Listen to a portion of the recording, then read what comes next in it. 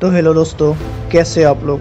मैं फिर से आ गया हूँ एक नया मज़ेदार और धमाकेदार वीडियो लेके। तो आज हम खेलेंगे call of duty mobile so without wasting time तो चलिए वीडियो शुरू करते हैं। Like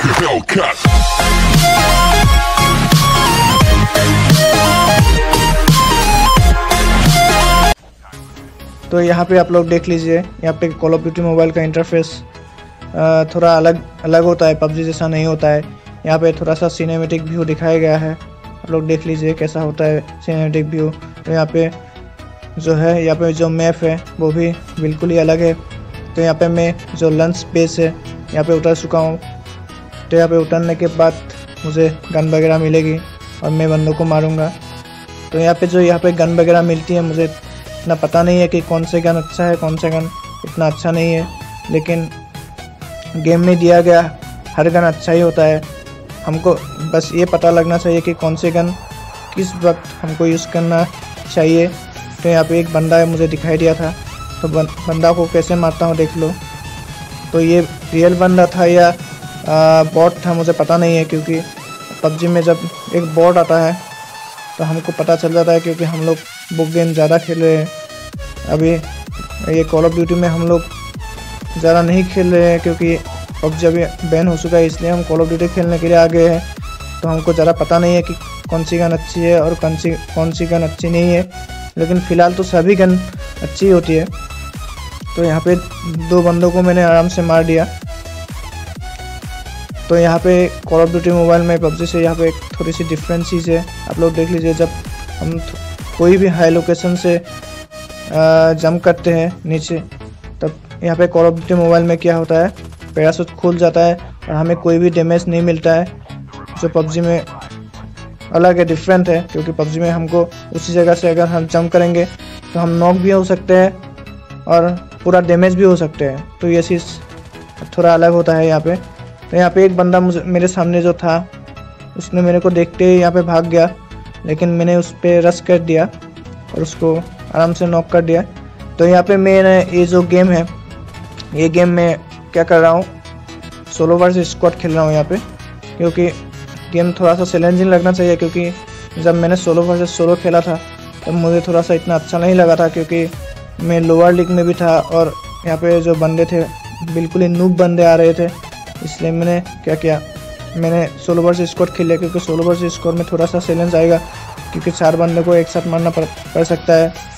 तो मैं यहाँ पे जितने भी बंदे मेरे सामने एक एक करके आ रहे थे सबको मैंने आराम से ख़त्म कर दिया था। तो मैंने उनका जो लूट वगैरह था लूट वगैरह भी आराम से ले लिया था क्योंकि मुझे यहाँ पे सिर्फ़ फ़र्स्ट एड किट जो है, वो ही मुझे सिर्फ़ पबजी से सेम लग रहा था क्योंकि बाकी सब चीज़ें नया नया सा लग रहा था। तो यहाँ पे एक बंदा जो था, इसने मुझे बहुत डैमेज दिया था। ऑलमोस्ट ही मुझे नॉक ही करने वाला था कि ख़त्म ही करने वाला था। तो मैंने उस वक्त उसको ख़त्म कर दिया। तो यहाँ पे एक चीज़ पबजी से अलग है क्योंकि जब हम पबजी में हीलिंग वगैरह करते हैं तो हम, हमारा जो मूवमेंट होता है बहुत ही स्लो हो जाता है। लेकिन यहाँ पे जो कॉल ऑफ़ ड्यूटी मोबाइल है, यहाँ पे बहुत चीज़ थोड़ी सी डिफरेंट है। यहाँ पे हम वगैरह भी कर सकते हैं जंप वगैरह क्राउड्स वगैरह करके भी यहाँ पे हम जो है अपना हीलिंग वगैरह कर सकते हैं। तो यहाँ पे ये चीज़ बहुत ही फ़ायदेमंद है, क्योंकि जब एनिमी आता है तो हम, हमारा अगर हीलिंग करते करते हमारा अगर मूवमेंट स्लो हो जाएगा तो एनिमी हमको आसानी से ख़त्म कर सकता है। इसलिए ये चीज़ यहाँ पे जो है प्लस पॉइंट ही कह सकते हैं हम लोग। तो यहाँ पे इस बन, बंदे को मार के मैं थोड़ा सा हीलिंग वगैरह कर लेता हूँ क्योंकि मेरा जो है हेल्थ बहुत ही कम हो गया था। और दूसरी तरफ़ एक बंदा था जिसने ए, मुझे मारने की बहुत ही कोशिश कर रहा था। तो जब मैं उसको मारने के लिए गया था तब पीछे से एक और बंदा आ गया था।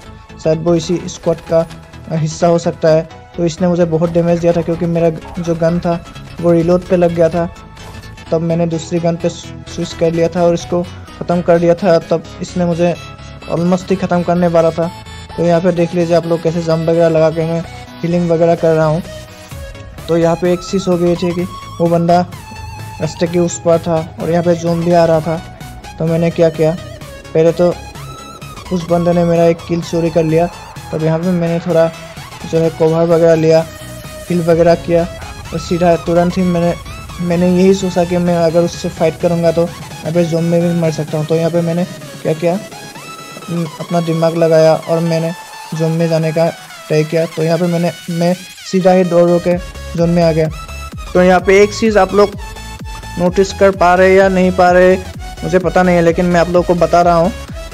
यहाँ पे जो एक मैप है, जो कॉल ऑफ़ ड्यूटी में जो एक मैप है, वो हमारे पबजी मोबाइल के सारे मैप के कॉम्बिनेशन है। क्योंकि आप लोग अगर ध्यान से देखेंगे तो आप लोगों को इस मैप में ही सैनोक एरेंगल मीरामार सब लिविक सभी मैप मिल जाएँगे। क्योंकि सभी मैप का टेक्सचर जो है, यहाँ पे सभी है। वीकेंडी मैप का भी टेक्सचर है यहाँ पे। सभी चीज़ का टेक्सचर यहाँ पे एक ही मैप में हम लोग को मिल रहा है। तो ये चीज़ कुछ अलग अलग है। तो यहाँ पे जो है आखिरी जोन आ चुका है यहाँ पे। सिर्फ़ मेरे को लेके सिर्फ़ तीन ही बंदे अभी बाकी है। तो इस इन बंदों को मैं कैसे मार, मारता हूँ? आप लोग देख लीजिए। तो यहाँ पे मैं उन बंदों को पहले ढूंढ रहा था क्योंकि आखिरी जोन में मैं मैं पूरा ही गेम रस खेल रहा था क्योंकि मुझे इतना चैलेंजिंग नहीं लग रहा था क्योंकि हर बंदों को मैं मा, अकेले मार पा रहा था। क्योंकि पबजी में ऐसा नहीं होता है। पबजी में बहुत टफ कंपटीशन होता है। तो यहाँ पे वो कंपटीशन अभी तक नहीं आया है क्योंकि यहाँ पे ये गेम ज़्यादा बंदे नहीं खेलते। तो यहाँ पे एक बंदे ने पीछे की तरफ़ से मुझे थोड़ा सा डैमेज दिया था। तो ये रियल बंदा था और था या क्या बंदा था मुझे पता नहीं क्योंकि रियल बंदा होता तो डैमेज थोड़ा सा ज़्यादा होता। शायद ये नूब भी हो सकता है क्योंकि ये मुझे एम नहीं लगा पा रहा था। तो इस आखिरी बंदों को मार के मैं ये गेम जीत गया था। तो यहाँ पे विनर विनर सेकेंड विनर नहीं मिलता है। यहाँ पे सिर्फ़ विनर मिलता है। तो यहाँ पे मैं एक जो गेम जीत चुका हूँ। अगर तुम लोग को मेरा कॉल ऑफ़ ड्यूटी वाला ये वीडियो अच्छा लगा हो तो जल्दी से जल्दी जाओ और मेरे चैनल को सब्सक्राइब कर दो।